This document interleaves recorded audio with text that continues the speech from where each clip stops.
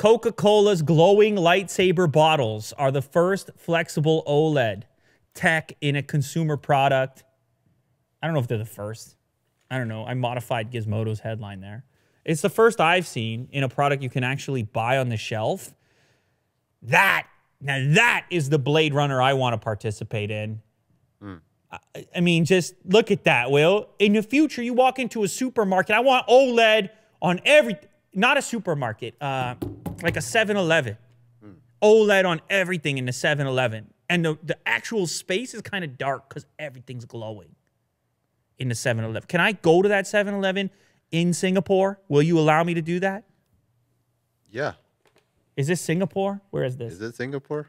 It might not be. I might have got that wrong. Yeah. Singapore. Singapore. Yeah, of course this is in Singapore. This kind of cool stuff can't happen here. That has to be in Singapore. So so I don't know who's gonna go me or you, but we got to go get one of these. The problem is, okay, I should just uh, probably describe this a little better. You have a glowing lightsaber to to market the launch of the new Star Wars, and there's two versions of this Coca-Cola bottle with the glowing lightsaber on it. You either get the blue lightsaber. What's her name? Rey? You get the uh, you get the Rey glowing blue lightsaber, or you'll get the Kylo Ren. Which one do you want, Will? Which one would you want to, uh, for as a collector? Uh, I don't know. They're both cool. Hey I'm good- man, I'm good. Hey way. man, which one did you take? which one do you take? Uh, I don't know. I'll take the blue one. You take the blue one. Sure. Okay, so you took the light side, not the dark side. Yes. All right. Why? Why not? Okay. All right. Willie do. I mean, the word is out. So these are launching on the 6th of December, and they're going to be incredibly limited. There will be 8,000. Let me see if I'm right on that. I believe it's 8,000 units.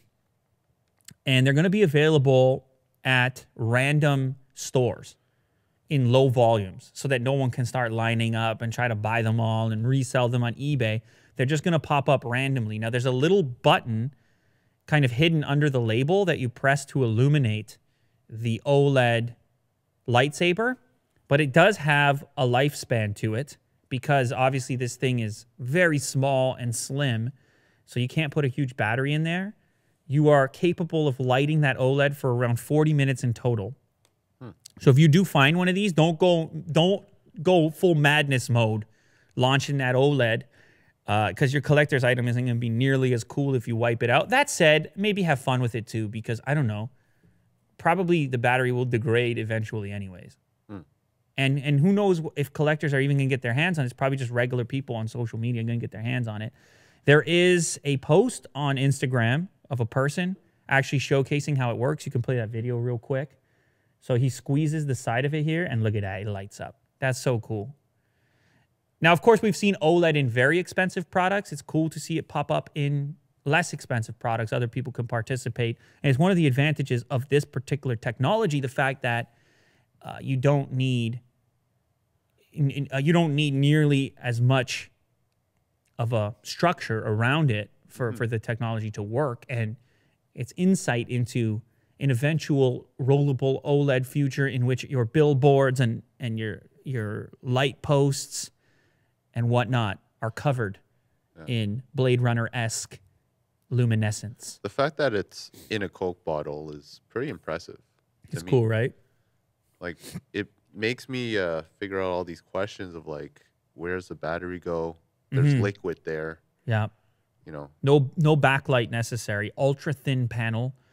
Good on Coca Cola. I think this is a really cool um, a marketing idea, and maybe maybe one of our fans from Singapore can send us one. Show up on a show. I'll put it right here, and give you a shout out. Probably not, but I don't know. Do we have any fans in Singapore?